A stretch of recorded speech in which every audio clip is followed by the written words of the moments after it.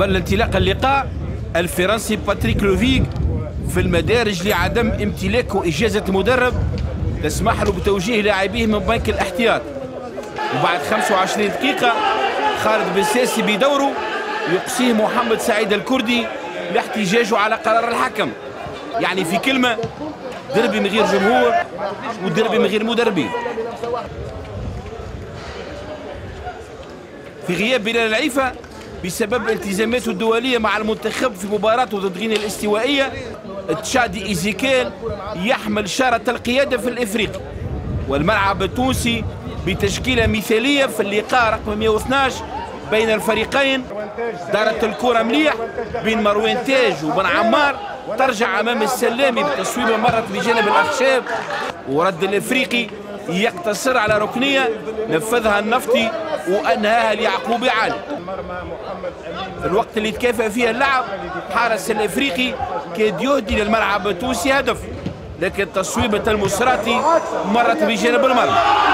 24 دقيقة لعب كرة من الحاج مسعود الحمزة العقرب وخطأ فادح من مبروكي يكلفوا الإنذار ويمنح الإفريقي ضربة جزاء أولها سيف الدين بالعكرمي إلى هدف أول الافريقي إذا كان خطورة أبناء لوفيك جات بالأساس من الجهة اليمنى بوجود الحاج مسعود والمتألق حمزة العقربي فإنه عمليات الملعب التونسي كان وراها محمد بن عمار. في مرة أولى يمر في العمق المهدي الورتاني لكن يضيع هدف التعديل.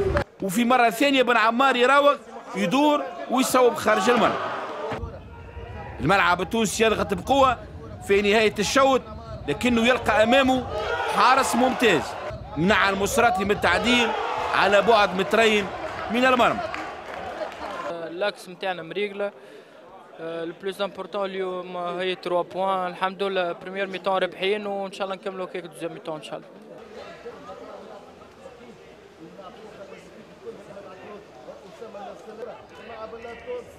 أربع دقائق على انطلاق الشوط الثاني.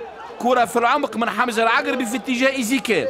أسرع من عبد الكريم كوسي لكنه يخطئ المرمى.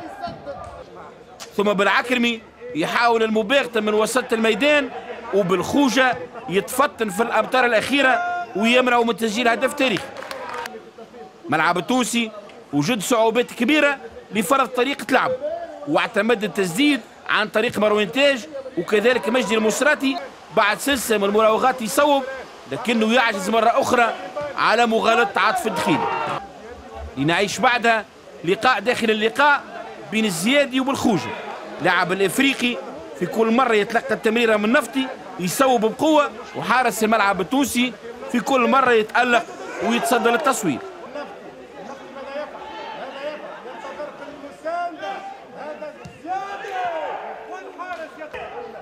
أبناء خالد مساسي غابت عليهم الحلول المؤدية لمرمى دخيلي وحتى من الكرات الثابتة عن طريق أسامة السلامي والإفريقي بعد ضغط مكثف في نهاية اللقاء يتمكن من إضافة الهدف الثاني المطمئن اثر عمل تمهيدي رائع من زياد. انهاها العقربي تصويبة قوية في مرمى بالخوج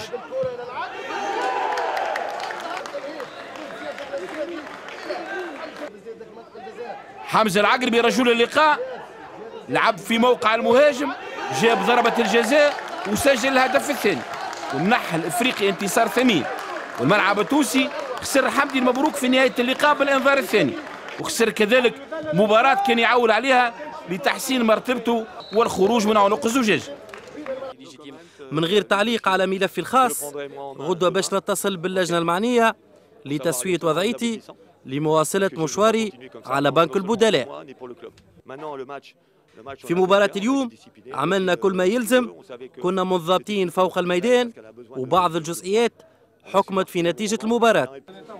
سي حسين يدور خطة جديدة اليوم. ماهيش خطة. والله ما خطة يا ولادي باش تبصيوني يهديكم c'est juste.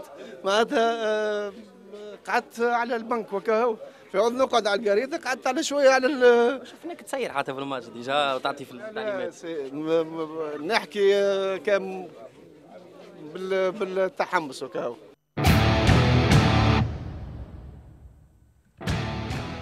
كلاسيكو النادي الإفريقي يفوز على الملعب التونسي هدفين مقابل صفر زبير مباراة دارت ب آه، ملعب زويتن ثاني آه، مباراة للملعب التونسي وثاني هزيمة لي في آه، ملعب هذا بالذات.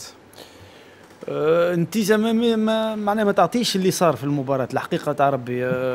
فما نقاط تحول كبيرة. أول شيء الهفوة الدفاعية نتاع ضربه الجزاء الملعب التونسي كان مسك كل شيء بيديه. الحاجة الوحيدة ما عرفش عملها هو تسجيل الأهداف وهي الناس كل تسعى لتسجيل الأهداف. آه، عملها فوق دفاعية أكثر من اللازم. آه، المباراة تتلخص حسب رأيي في التصدي الكبير نتاع عاطف التخيلي اللي كانت تخلي واحد واحد بالمعطيات اللي كانت في المباراة والسيطرة الميدانية للملعب التونسي يبقى تسجيل الأهداف. الكرة ثابتة في الهدف الأول وهفوة دفاعية جابت ضربة جزاء مجانية من من دفاع الملعب التونسي. آه، الشوط الثاني صبر النادي الإفريقي. قاعد ينظم دفاعه منظم. آه، عاطف تخيلي آه، ما شاء الله عليه تو المباراة الثانية والثالثة على التوالي شفته في القروان كذلك لعب مباراة محترمة. شاكر الرقيعي يعني مستواه قاعد يتحسن بالكدا بالكدا نعيم بن أحمد ولاد صغير على اليسار زاد قاعد يلعب بالكدا بالكدا في الدفاع وفي الهجوم الاثنين. النادي الإفريقي حسب الإمكانيات الموجودة. معناها تنظيم دفاعي محكم إيزيكيل القدام آه، دخل بن عكر بالمباراة هذه على الأطراف ويحاول مع حمزة آه، العقربي نعم. يعطيه حاجة في الهجوم مع الصبر. الأندية اللي يلعبوا ضدها في الفترة الأخيرة كان شبيبة القيروان نفس السيناريو بالضبط شبيبة تمسك الكرة آه، ولا ولا الافريقي يسجل ويفوز نفس السيناريو تعادل مع الملعب التونسي اللي ما عرفش يسجل أهداف بكل بساطة اللي ما يلقاش الحلول باش يسجل أهداف ما ينجمش يفوز وما ينجمش يخرج من الوضعية اللي هي فيها. حاجة كبيرة. خالد بن ساسي ما تحكمش في اعصابه شوف هذه مشكله ثانية. فما حاجة مهمة برشا اسكندر بالله. نعم. بالنسبة لاعبين الإفريقي لأنه سمعنا في وسط الأسبوع يعني أضربوا مشاكل آه، كبيرة. ولكن اليوم وقت اللي جات المباراة اعطاوا الكرة حقها وخدموا على روحهم وخدموا خدمتهم. هنا نقولوا كتبدا حاجة لازم نقولوا إن هي باهية. احتجوا وقت الاحتجاج اللي هي في التمارين بطريقتهم ولكن احترموا النادي اللي يخدموا فيه ولعبوا مباراتهم وفازوا بها. النادي الإفريقي اليوم يجلب الانتباه نعم. بالكدا اسكندر من غير أجانب أجنبي واحد إيزيكيل. هو قائد الفريق أيضا في المباراه خلينا من قائد الفريق هذه مواضيع أخرى ولكن بالإمكانيات الموجودة فما نواه نتاع حاجة باهية بالنسبة للافريقي إذا يجي رئيس باهي إذا آه يعني وتتوفر الإمكانيات المادية خاطر الأمور توضح الأمور أكثر هذا هو المقصود. به وقولوا نعم. الأسبوع الجاي اظن نعم. على مش هذه مشكلتنا مشكلتنا في الإمكانيات الموجودة نعم. في دقيقة على جانب أنا في دقيقة المره الرابعة تقريبا باتريك لوفيك إلى حد الآن في نفس المشكل يدخل المباراة ويتم إخراجه. يعني مانيش فاهم أنا فماش آه، أنا نقول من المباراة الأولى مش ما نطولش عليك إسكندر. أنا نقول اللي قاعد يصير في اللي قاعد يصير في النادي الإفريقي فيما يخص الوضعية نتاع لوفيك ما يليقش بفريق في حجم النادي نعم. الإفريقي. يعني مش معقول كل أسبوع شنو ينجم يصير وجدي شنو الحلول؟ ما ينجم يصير حتى شيء. باتريك لوفيك عنده ديبلوم تاع entraîneur formateur ما ينجمش يدرب في الرابطة المحترفة الأولى. ما فماش ترخيص استثنائي ما ثماش يعني. حتى نعم. استثنائي. يعني حتى وصلوا ياخذوا له في ياخذوا له في ترخيص نتاع نتاع نتاع dirigeant. يعني مش معقول المعاملات هذه يعني ما تجيش. واضح. لازم نشوفوا حل آه، اسكندر لازم نشوفوا حل ويجيبوا مدرب, مدرب. مساعد في نادي الإفريقي. ما يجيش هو حتى مدرب مساعد نعم. ما عندوش يعني مش معقول.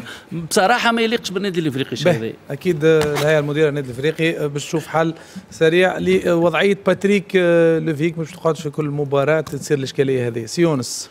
صحيح إحنا باش ندخلوا تو المباراة هذه اللي دار الحكم الكردي لكن نتسائلوا علاش الكردي معناها مرتين في جرة بعضهم للملعب التونسي معنا الأسبوع اللي فات مع المرسى اليوم يعاود مرة أخرى لنفس الفريق وهذا يخلق حتى جو نعم. مش معناه مريح للحكم وحتى للمسؤولين به. بسرعة نمر للقطات إحنا دائما مش نحكي على لويك وقت اللي وقع الطرد نتاعه لكن نقول الحكم الرابع اول حكم قبل ابتداء المقابلة لابد أن يعلموا هو يعلم المسؤولين تاعه انه ما عندوش حق يدخل للميدان حتى ما نقعدش معنا مرة أخرى هو يدخل وإحنا نعاودوا نخرجوا فيه. هذه اللقطة الأولانية اللي حبينا نقول فيما يخص المدرب. نمشي للقطة الثانية اللي هي نتاع ضربة الجزاء اللي هو زبير أعطانا معناها عليها قال اللي هي معناها من خطأ فادح معناها من المدافع. من حمدي مبروك يعني. جزاء ولا نرجع نمشي للعملية اللي هي معناها على أثر تدخل عنيف من المدافع. إحنا نعرف عندما تكون القوة الزايدة هذه اللي جات بها المادة 12 فطبعا الحكم الحق أن يعتبر أنه مثلا مخالفة فيها ما فيش التكاتف اللي هو معناها على معناها فكان الكورة ولا على سيطر على الكورة لكن كان دفع معناها مجاني كان قوي. وهذاك الشيء اللي آه، خلى الحكم يأخذ القرار نتاعو اللي كان صايب معناها في اعلانه على ضربة جزاء. مش اللقطة الأخرانية اللي هي معناها كذلك زاد طرد معناها المدرب. نتاع الملعب التونسي. وهذا الكل هذا الكل المشكل وين؟ وصار بداية الشوط الأولاني. تو كان معناها ربما نقولوا بتقدم المقابلة ممكن الأجواء سخنت لكن إحنا مازلنا في ال 25 دقيقة الأولانية.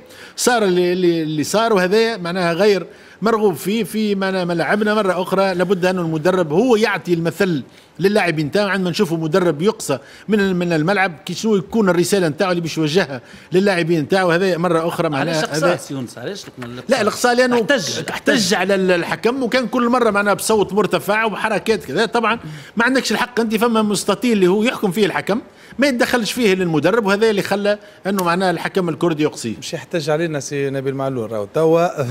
معك. ما حتى مشكل مرحبا بك مرة أخرى بطبيعة الحال.